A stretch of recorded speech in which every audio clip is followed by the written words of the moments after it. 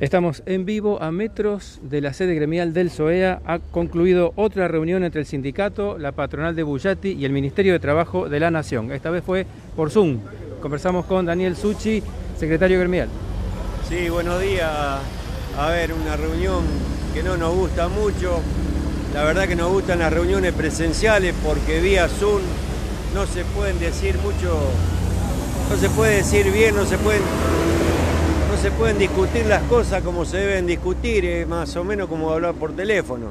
Pero bueno, eh, la verdad que no hemos avanzado en nada, fue una reunión bastante complicada, donde arrancamos 10 y media de la mañana, tuvimos tres cuartos intermedios y no hemos tenido la respuesta que esperan los trabajadores en cuanto a la indemnización del pago del 100% que le corresponde a cada uno.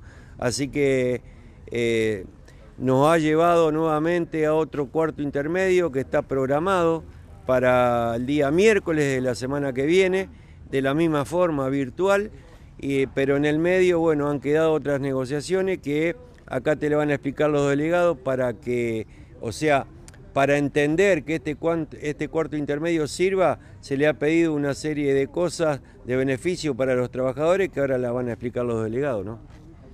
Sí, Sergio Tour y Daniel Serna. Sergio.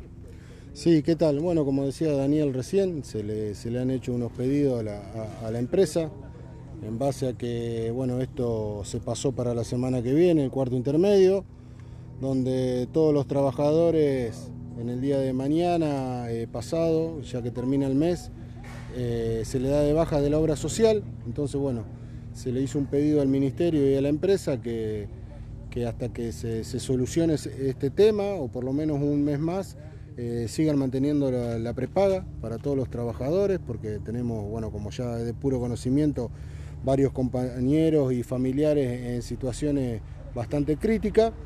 Entonces, bueno, eso quedó, quedó claro por el ministerio, le dio, le dio hasta el día de mañana a la empresa para que contestara este pedido, que la empresa eh, dice que no, no es fácil, pero bueno, el pedido se hizo y mañana tienen que, tienen que contestar por este, por este tema, donde nosotros dejamos bien asentado en el acta que, hasta que no, terminara esta negociación mantengan la obra social, eh, donde nosotros podíamos eh, acatar una paz social y para que no haya ningún tipo de, inconveniente hasta el, el miércoles próximo. Daniel, ¿hubo algún pequeño avance? Por ejemplo, el, Ministerio ratificó que la empresa tiene que pagar el 100%? Sí, sí, eso lo volvió a decir hoy, lo volvió a ratificar, lo mismo que pasó en la audiencia anterior en Buenos Aires. Así que eso ya no está en discusión sobre la mesa, eh, solamente ahora resta eh, llegar a los números que, corresponden y que nosotros decimos que, tiene que pagar la empresa, ¿no? y, el, Ministerio de Trabajo también ya se lo dio a conocer. Así que bueno, eh, estamos eh, esperando la, audiencia que viene y ver si, si, si ya podemos eh, darle un corte final. Lamentablemente a esto, como dijo Daniel, es muy lamentable estar peleando esto y no puesto de trabajo. Eh, o la reapertura de Bullati, así que bueno, pero bueno, tampoco podemos quedarnos y, y, dejar que hagan lo que quieran con los trabajadores. Y agregando a lo que dijo Sergio, mañana la empresa tiene que comunicarle al Ministerio de Trabajo en forma fehaciente y al gremio también eh, si van a seguir pagando la obra social durante el mes de abril. En caso de que no, de que no sea así, bueno, se comenzarán con las acciones gremiales que, que se evalúen y se acuerden con la gente y con el gremio. ¿Los trabajadores van a esperar la respuesta frente a los portones? Sí, sí, mañana nos concentramos ahí a la mañana y esperaremos la respuesta, haremos la vigilia como lo hacemos todos los días y a ver si tenemos alguna respuesta con respecto al tema de la obra social. Daniel, un detalle, la empresa daba por terminado el conflicto, pero esto no ha terminado. No, no, no, no, la verdad que de ninguna manera para nosotros nunca terminó. O sea, esto va a terminar cuando los trabajadores cobren el 100% de cada una de las indemnizaciones que le corresponden. Y aparte, eh, queremos aclarar algo, que este es un tema que ya lo tiene la CGT San Lorenzo. Eh, en caso de que mañana eh, no, se, no se acuerde con la obra social, seguramente vamos a retomar la medida que quedó, digamos, de alguna manera inválida el otro día cuando la comenzamos, donde dijeron que era solamente de los aceiteros.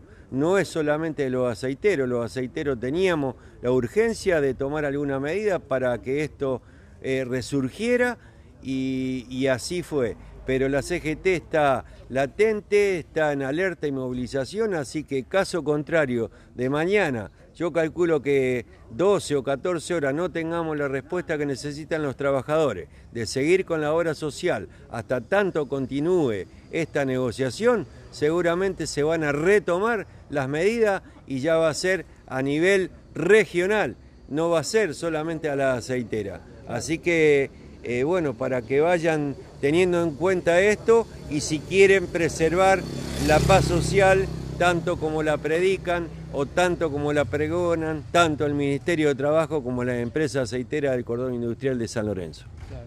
Hace minutos se retiraron de aquí eh, Monzón y Brizuela, secretario general y secretario general adjunto de la CGT, y volvieron a ratificar que la CGT está a disposición de los compañeros de Bullati y de las resoluciones de los aceiteros y se retiraron con un aplauso.